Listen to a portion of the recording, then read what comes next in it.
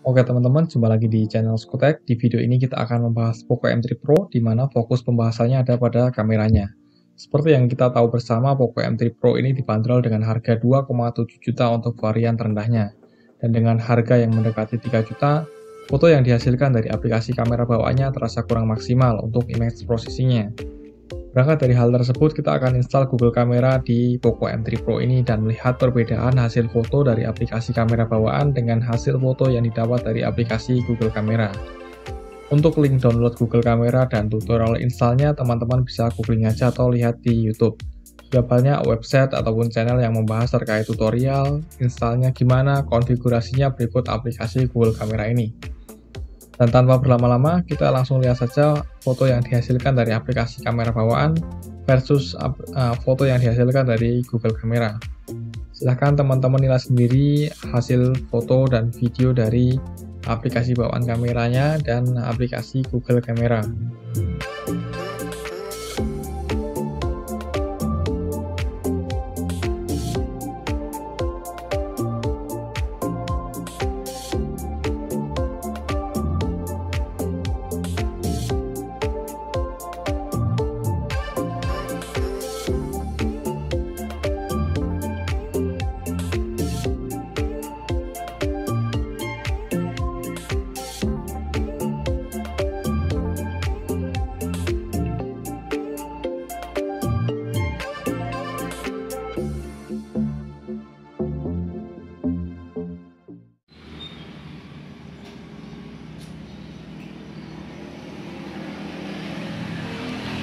Jadi ini adalah hasil perekaman dari kamera Poco M3 Pro menggunakan aplikasi kamera bawaan ya, stok kamera bawaan.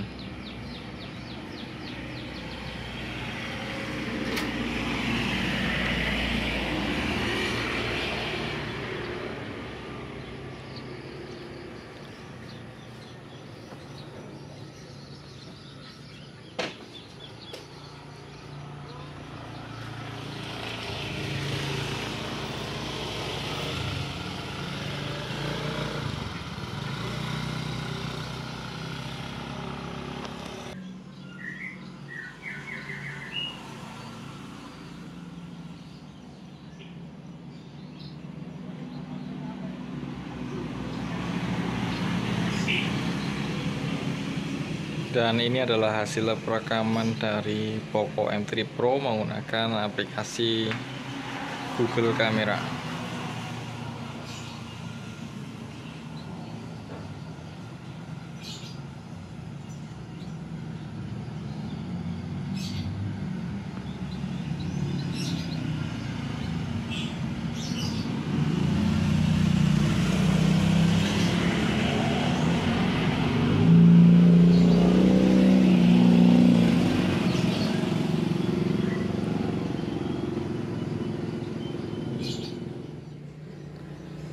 dan ini adalah hasil perekaman dari kamera depan Poco M3 Pro menggunakan aplikasi kamera bawaan.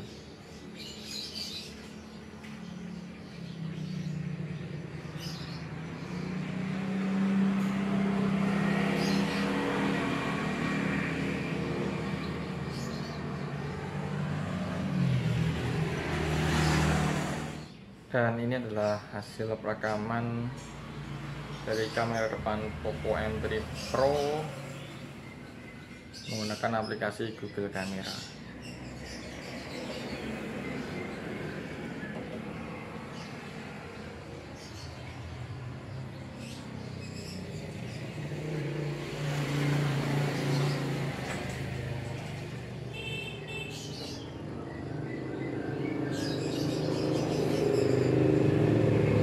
lebih seperti ini semoga dapat mewakilkan